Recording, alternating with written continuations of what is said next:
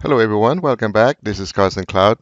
So in this video, I'm going to set up Windows 10 deployment status page in Intune.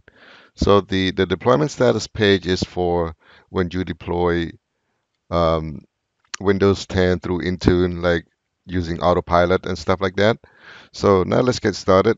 First, I need I'm in portal portal.azure.com and click on if you don't have Intune shortcuts created here, you can type in here and search for it.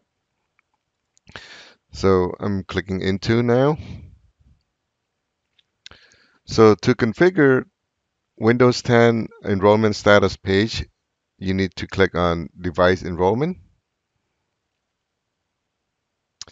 and then click on Windows enrollment. Click on enrollment status page. Going to create a new one.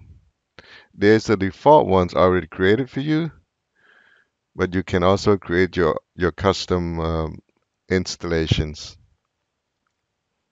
or your custom uh, page. So now let's create a custom page. Click on create. I'm going to call this YouTube demo.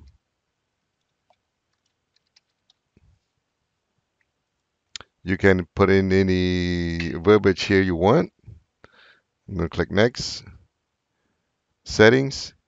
The enrollment status page appear during initials device setup and during first user sign in. If enabled, user can see the configuration process, assign apps, profiles, targeted device. Show all app and profile configuration progress. So I said yes. So here, show any errors when installation take more than 60 minutes. You can change to 65 if you want. Show custom message when time limit errors occur. Say yes. So if it goes beyond 65 minutes, the user will see this um, message. You can also add in a, um, the help desk phone number if you want. Next one is allow user to collect logs about installation errors. I would recommend to do that.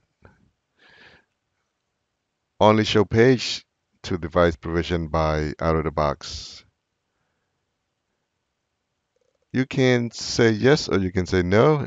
If you say no, it's going to show us on um, not just OOBE. So I will click no or you can click yes to um, enable for OOBE only. Block device, block device use until all apps and profiles are installed.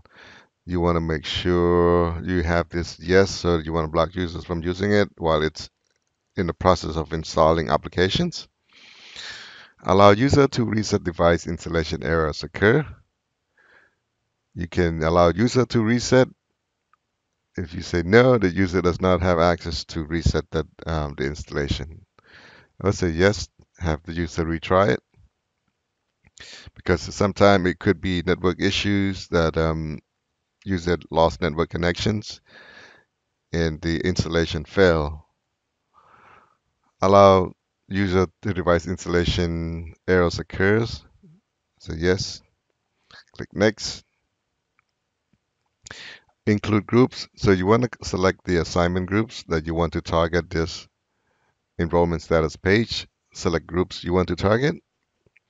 You can do for all users or you can specify to uh, specific groups of user.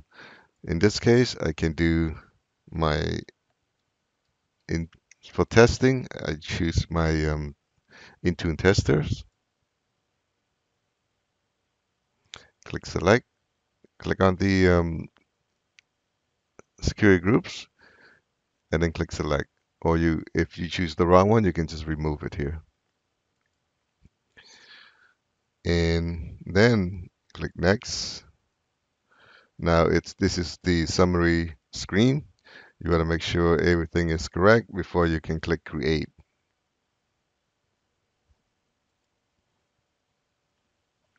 As you can see here, the progress it is creating successfully. And the priority one. So that means this is will take the priority of the defaults. So that's it. That's how you um, create enrollment status page in Intune. Thank you for watching. If you like the video, please don't forget to subscribe and have a wonderful day.